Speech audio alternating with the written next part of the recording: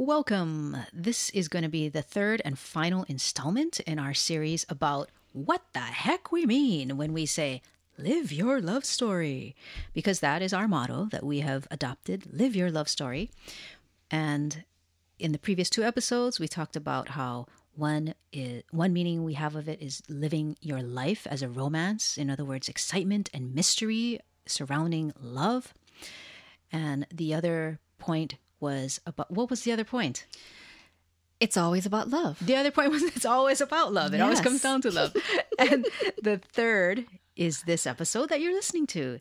And well, we'll see you on the other side to let you know this third and final thing that we mean and think of when we say live your love story. Welcome to the podcast where it's all about living your love story and making your life and world a story where love wins. My name is Siena. And my name is Toast. We've been partners in life, love, and music since 2001. Welcome to our podcast. We're Welcome, bringing it- everyone. we're bringing it home in this episode. Part three. Yes. Okay, so what does live your love story? Well, I wanted to i'll tell you what it means. It means not letting the bananas die and making something with them. Like banana bread. Yeah. That's what Siena did earlier today. I did that today. I didn't want them to die. So I made some gluten free, grain free, almond flour, banana, and blueberry. It's cooling on our stove top. Obviously, that's what I'm thinking about right now. Yes. She's hungry, folks. okay, let's get this done. All right. Jeez. See, I'm trying to be efficient. again. Efficient. rushing love. Toast, you are rushing love. Am I? Yes. Oh, I'm sorry. I'm kidding, you're not. Maybe I'll ju- oh, Don't apologize for being yourself. Let's go. all right. Live your love story. How does it relate to real life? Because real life can be so just so messy. Yep. and um, it's frustrating when It you try can to. be. It's frustrating when you're trying to make life fit into a neat box, Right. And, and uh, you know, staying in the lines. And all the emotions. My gosh. messy. Yeah. It can be hard. Lots it can be a slog. It can be very frustrating. All the buttons to be pushed. It can be so not like a romantic feeling love story. right. So, in this episode, we are focusing on the idea that life is an unfolding story. It happens uh, scene by scene, chapter by chapter. You don't know what's going to happen. It's not like you don't. it's not like a math problem mm-hmm. where boom you get the whole thing and it's nice and neat and the left side equals the right side and you know it's a principle that you can just put down there and hey that solves everything And it's not like baking. where you have a recipe Right. and you just follow the recipe Right. and at the end you have exactly what was promised Right. nope Nope. life is an unfolding story And sometimes you end up wondering amidst the chaos, amidst the mess, amidst the emotions and the overthinking, and Netflix and binge watching things and just too many salt and vinegar potato chips. You look up finally with crumbs crumb like potato chip bits on Yes. your shirt and you wonder what your part in this all is. what's the meaning of it all Yeah. Yeah. I definitely uh, sometimes have gotten down on myself. I think I struggle with that quite a bit, actually. I don't know if that's a common thing, but I think Just- a common thing. you think so? yeah. Okay. Not to lighten your experience, but I think that. Okay. I think, and I think we go through waves of it, hmm. you know? Yeah. Yeah, I guess that's fair to say because I think one of the reasons people might like go to see a motivational speaker or go to a workshop you know, that kind of thing is to feel better about themselves, right? To feel like, hey, I can, Yeah. I can achieve significance. You want somehow. hope. You want to feel hopeful. Yeah, well, the word I guess I'm that comes to my mind the most is significance. Like some the reason I will feel down about myself sometimes is doubting the significance of my life. Yeah. You know, um, I feel Especially- that. Yeah. I, I- I think it's compounded or it's it's informed by the fact that we don't have kids. yeah. You know, so people who have kids, it's like, well, obviously that's Very significant. yeah, Yeah. yeah. You've molded and helped raise a, ch- a, a being Yes, on, for this planet That's to continue incredible. doing. Yeah. Yeah. It's incredible. Um, and also, you know, to be honest, it's like, well, I I would like to have by this point in my life have built something or created something that, whether it's a business or a work of art or an organization or something. I mean, I know we're doing this podcast, and I think that's I do feel a sense of fulfillment and, and significance in that yeah. Yeah. but that thing of always wanting to be assured that you know like do you have an important part to play in Yeah. the story of life or in the story of humanity Uh, that's what i think of And I think people people might understand what you're saying, but I think when you hit midlife, I think the midlife people definitely understand what we're saying.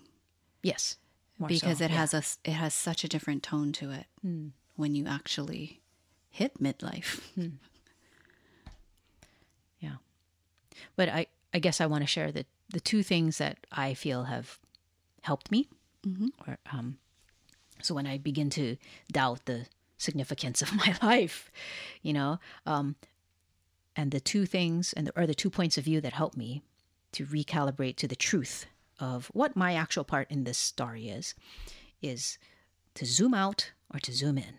And by that i mean the i guess the time scales of perspectives. So by zooming out i'm referring to scientific facts about the timeline of our human species so i'm talking about like zooming pretty far out. Um, i just recently learned that uh, scientists estimate that a species like human beings lasts usually about a million years. But because we humans have um, been able to adapt so we can live in so many different climates we we work together in large groups to innovate solutions through technology. Like we're a really special species. So we can probably last way longer than a million years if we don't destroy ourselves first. And that's an important part. Um, but the the the thing is is that the human race right now is about 200,000 years old. So that's if you take a million years, you know, as okay, that's how long our species will last. Then our species has already gone through only 20% of its entire lifetime. Um, so we've got at least 80% more of our species lifetime left. And again, this is if we don't destroy ourselves first. So let's please take, you know, continue to take care of climate change and stuff like that. Um, but just having that zoomed out perspective to realize that, wow, we we are living in a time where uh, the greatest achievements of our species are probably ahead of us. We are building still the foundation on which future generations will live. Um, I can't really explain it logically, But but that helps you. but that knowing having that perspective gives me a sense of more calmness okay. about the significance of my life. And I think it's, I can feel how that could be. yeah, I think Yeah. it's I think it has something to do with like a combination of don't take your life so seriously because mm-hmm. you're this small speck in this enormous timeline Yeah. along with you know you're you're significant. You know, it's that paradox again. Yeah. Okay, but that's the zoom out.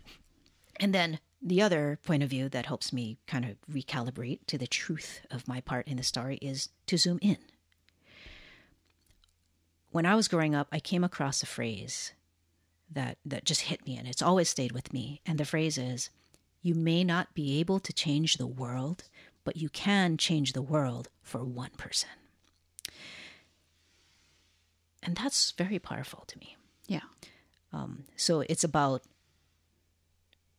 dialing back my desire for significance to just focus on who my one tiny life comes in contact with. So recently, as an example, this is how small I'm talking about when I say zoom in. Recently, I realized, you know what? I want to improve my handwriting, just how it looks, you know, because I I I want to be able to convey through my handwriting just more of the depth and the fullness of my best intentions for people when I'm writing a note. Mm-hmm. Mm-hmm. You know, Yeah. um, such a small thing, but that's that's the zoom in part. Yeah. Yeah, and I feel like oh, that's like super simple. it's And you can do it. it's it's it's humble it's super small but you know but that's where i definitely notice i get the feeling of it it means something. Hmm. And that helps me. Yeah. Life is an unfolding story. Hmm. Just a little you know like a close-up on a movie right? Yes. it's a close-up. The handwriting. There you go. So those are the things that kind of came to me when i thought of That could be like, a song. what could be a song? Something about that your experience with the zooming in and the handwriting Hmm. and what you're wanting to convey hmm. in how you write to people you're writing to. Or in what you're writing. And actually, you know, now that I think of it, also in writing to myself, like journals and just yes, brainstorming yes. ideas for songs and, and expressing myself creatively like that.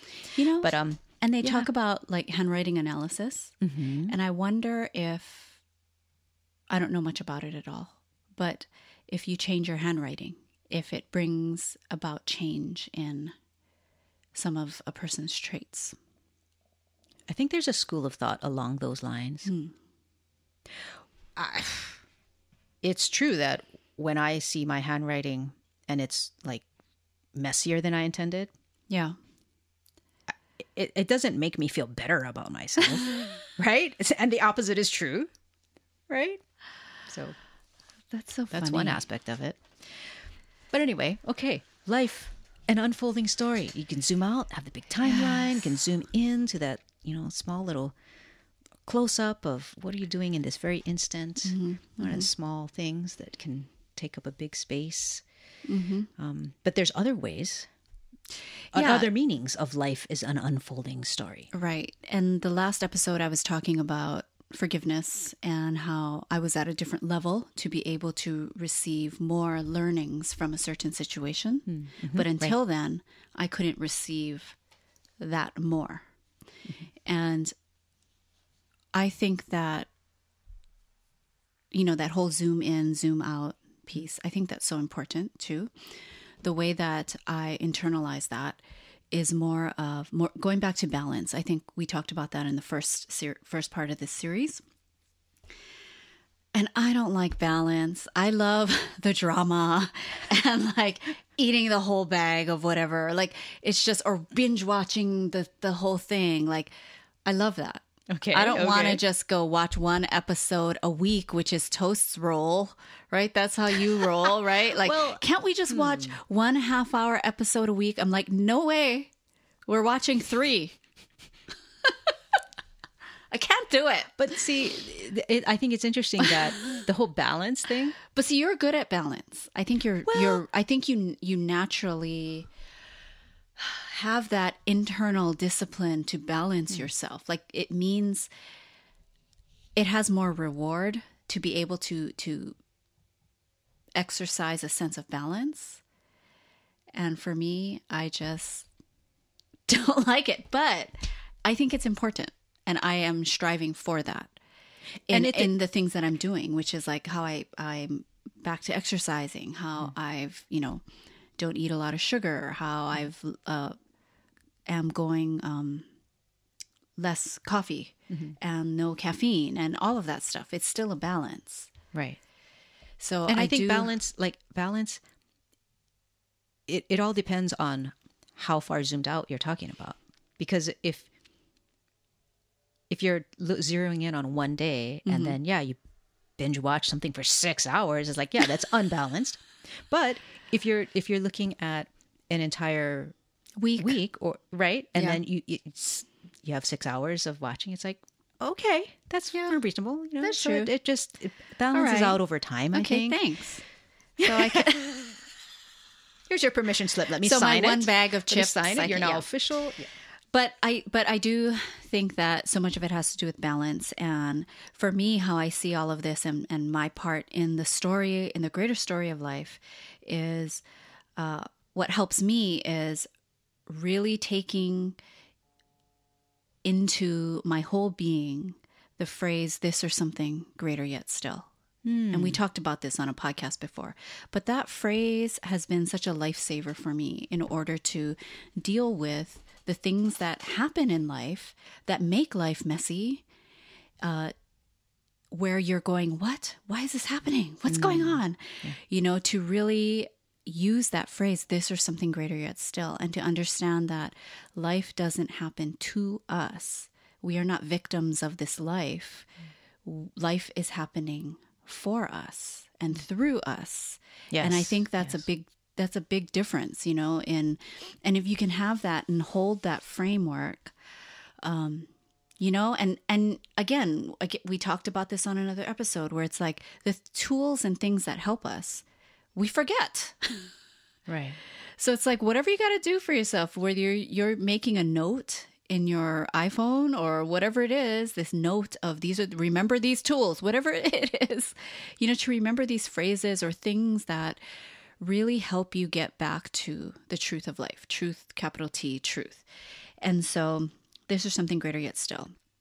And I wanted to share a story that one of my teachers shared with me that has always really stayed with me because it really exemplifies um, how the things that happen seemingly to us that feel bad are not necessarily so. But we do mm. need to remain open to the mm-hmm. greater yet still. Mm-hmm. So there was this doctor who had a successful practice in LA, but she was being called to live closer to nature. And so, with this calling, despite having this successful practice in a great large city, you know, she decided to follow it. And so she followed this calling and sold her practice. And she was in the middle of buying a house in Colorado. And then the deal fell through. And this is where many of us, if not all of us, would think, oh my God, I shouldn't have sold my practice. Oh my God, what was this? What was I thinking? I should have just stayed where I was. yeah. What have I done? Um, What have I Like, done uh, What a mistake I made. This was a this is a sign. Yeah. I'm not supposed to be doing this. So again, she had all of those same thoughts, and she got to a place of calm and went, "Okay, let me remember what I know." And what she felt she knew is that life is happening for her and through her, and that there was actually intelligence in this thing that was seemingly wrong, which was, oh my God, the deal fell through. A seemingly bad thing. So, anyway, she got to a place of calm, and her intuitive sense, um, she just heard in her mind, she heard, call Susan. Her inner Yoda. Yes. And this is when she's calm now. She's not in this flurried, oh my God, I have to fix this. She was calm. Hmm. And I think that is the best time when we can actually hear Oh yeah. our intuitive side, right? Yeah, because You cannot do it in when you're panicked. yeah, when I'm like in in a panic state, Yeah. right, it doesn't even have to be outright panic. Yeah. Just like Worry, concern. yeah, you know. And then I try to hear and listen for guidance and mm-hmm. stuff. Even if I hear something, mm-hmm. I can't trust it Right. because am I just making it up? Right? Right. Yeah.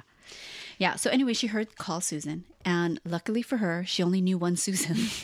she was like, "Oh, okay. I went to school with, I went to medical school with a Susan," and so she called her, and she said, "Hi, Susan. You know, do you remember me?" And she goes, "Yeah, of course I remember you." She goes, "I don't know why I'm calling you, but this morning you just popped into my head, and so I thought I'd give you a call and see how you're doing." Hmm. And Susan said, "Oh my gosh, we're actually interviewing for uh, to fill our staff here. We need another doctor. would you be interested in interviewing? And so, even though this woman never thought to live in Santa Barbara, where this uh, practice, Susan, yeah, Susan where Susan in Santa Barbara, is, which is closer to nature right, than LA. right? Um, she thought, okay, I'm going to follow these breadcrumbs. I'm going to follow these things that are being revealed to me one by one. I'm just going to follow it. So she went for the interview. And as soon as she stepped through the doors, right above the reception desk, unfortunately, I don't remember the quote, but right above the desk, there was a um, picture with this beautiful quote. And it meant so much for this woman because this quote was an important quote for her. And um, so as soon as she saw that, she just exhaled, her shoulders fell. She was just, oh, I'm in the right place. And long story short, she got hired, moved to Santa Barbara, bought a beautiful home there, and three months later, she met the love of her life and they got married. And having love and a partner in her life was also something she really wanted. Mm. So her first thing was, I want to live closer to nature, but I also want a partner. But her focus was on, I, w- I want to move closer to nature. But she was open to the greater yet still, this or something greater yet still. Could she have had a practice and lived in Colorado? Of course. Could she have had a good life? Probably. Why not? Right? Mm-hmm. But the greater yet still, like when we are open to receiving that more mm-hmm.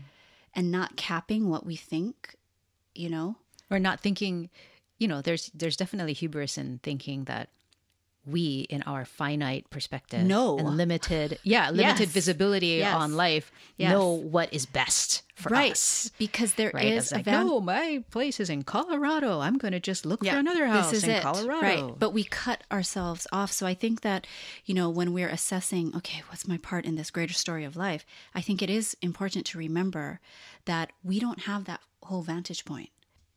But if we're open to it, we can see the breadcrumbs. Just the next step. The next step and that's all we need to see. But i think as human beings we want to know where we're gonna end up. We want to know how the story ends. Mm-hmm. And if we're willing to live a different way i think we'll be amazed at hmm. what's waiting for us. And you know that it's so neat that you put it that way because that idea of waiting to see. Mm-hmm. Um, that to me perfectly circles back and dovetails with how we started this series of life being a great romance with the mystery and the mm, excitement. And yes, it's a yes. relationship. Mm-hmm. Yeah. Yeah. I love that. So thank you so much, everyone, for listening to our three part series.